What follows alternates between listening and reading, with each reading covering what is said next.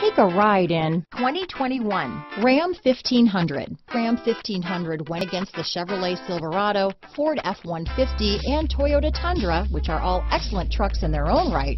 The Ram took home the prize for its well-rounded strengths. Here are some of this vehicle's great options.